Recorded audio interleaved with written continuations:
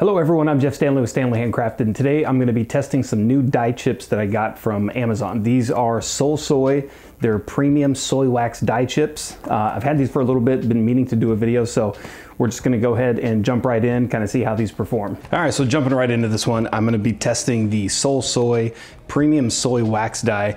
I got this a little while ago. I've been meaning to do a video on this one, so we're going to go ahead and get to it today. Uh, I'm just going to basically test out a couple different colors with this one. Uh, I'm very curious to see what the black looks like. Obviously, everybody knows that black dyes in soy wax uh, have a real difficult time getting like a true black. So I definitely want to put this in there. Definitely try the black. Uh, probably going to try, I don't know, maybe the fuchsia and just kind of see how it comes out. Uh, you can get these on Amazon. I've seen these pop up quite a bit. Uh, got this one to try out. Just going over a little bit of the product information here. The product is animal friendly, which is very nice, especially with somebody who wants to have kind of a, uh, real eco-friendly line, especially with soy. Uh, this product is irritant free and safe for the skin. It is non-toxic and does not stain. So uh, I like that quite a bit. And then with this soy, I'm also gonna be pouring into some of the 16, 17 uh, vessels that I got just to kind of fill those up, do some wick testing in that one. Uh, and then, uh, yeah, let's go ahead and melt some soy and try this out. All right, so we'll go ahead and pop these open real quick just to show you what it looks like. All come in individual packages and it's in somewhat of a kind of a brittle chip form, so dyed chips. Nice looking colors on these though.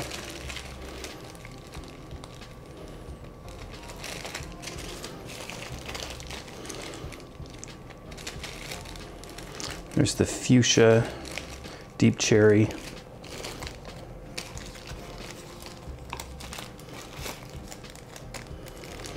White, uh, I probably don't have to worry about that too much with soy wax just because soy is typically pretty white, but maybe something like the 6006, might try that in there just to see how well that, because uh, 6006 is a little bit of a, kind of a yellowish off-white color.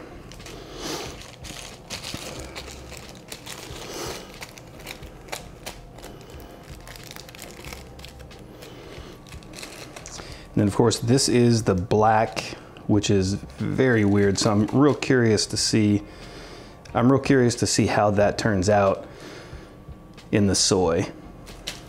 All right, so I went ahead and put one pound of soy. And then for the black dye, I'm just gonna do two chips like that. And I'm gonna go ahead and throw these in now just so that it melts along with it. Uh, with liquid dye or dye chips, you can add your liquid dyes or any dyes pretty much at any point. Uh, I typically like to wait till the wax completely melts. That way I can actually see, that way I actually know the wax is completely melted.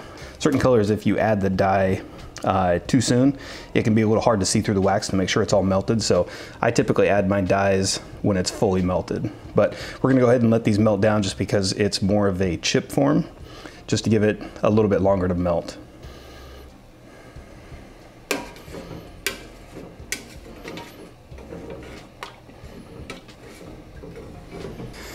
All right, so pouring into this one, uh, I'm gonna be using Candle Science Apple Harvest, which is really nice. Uh, I like to use this one also along with cinnamon, just because it's a real strong scent.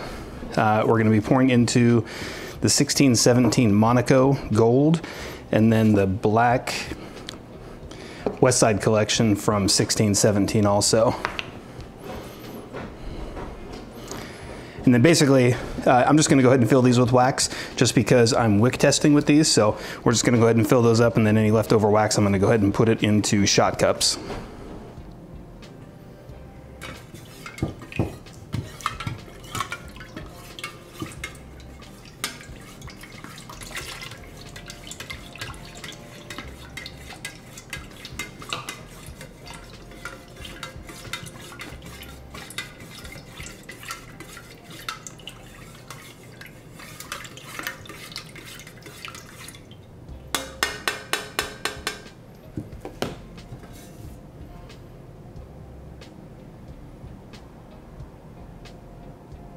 I want to use a pound of wax and it's probably going to almost fill this one.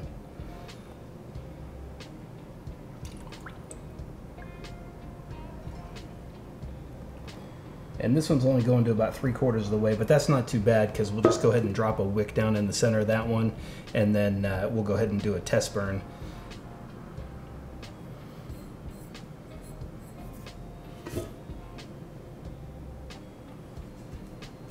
All right, we'll go ahead and let those harden up and see how that black looks.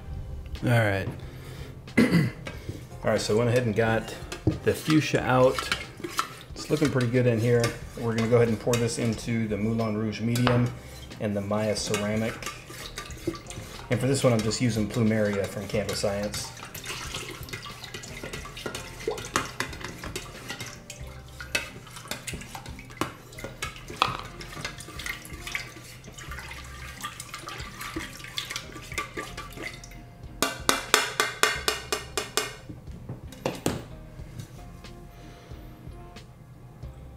Color looks amazing in that. I'm hoping it stays like that. I'm sure it'll soften up a little bit with soy, but I'm real curious to see how strong these are. All right, we'll go ahead and let those harden up too. All right, so these are pretty much done. you can tell the fuchsia came out really nice. Nice bright color. Uh, the black is to be expected. Uh, it definitely came out a little gray. Again, putting that black inside of probably uh, like the virgin coconut soy, I think would come out a little bit darker. 6006, it's still gonna be a little bit gray. And of course, you could probably add a lot more chips to that and it would come out a little bit darker, but then you run into the possibility of it smelling like the chips. All right, so that's pretty much it. The uh, dye chips actually worked out pretty well. I will say with the black, you do have to add quite a bit, but again, that's to be expected with any black dye, especially going into soy. Uh, as far as the other colors, like the fuchsia, I could have added far less of the fuchsia and gotten a real nice color out of that one. So you definitely don't need to add a lot for the other colors. But overall, these are a very nice way to go. Very good dye chips. And like I said, you can pick these up on Amazon. They have a bunch of different colors in here from uh, yellow, green, purple, super red, royal blue, bright blue, fuchsia, deep cherry, green, bright orange, silver, gold, dark green, teal, white, and black.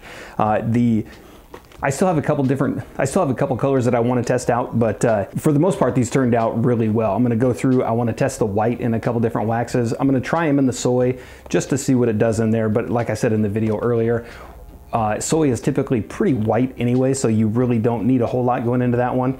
I do want to test it out in uh, the 6006 because it's kind of an off-white color to see if we can kind of brighten that up just a little bit. And then of course over the next couple weeks I'm going to do some more testing in this one with uh, some different waxes just to, these are specifically made for soy, but of course you could probably use these for uh, many different waxes. So I'll go through and test those again also. And then of course in any of the videos that I use these chips, I'll go ahead and note it in the video when I do use these dye chips uh, in future videos. Uh, these actually turned out pretty well. They melted down really well. Uh, I did throw them in at the beginning of the wax or at the beginning of the melt stage so that it just melted along with the soy chips and it came out really well. There's no like little bits and fragments, uh, nothing really stuck to the edges.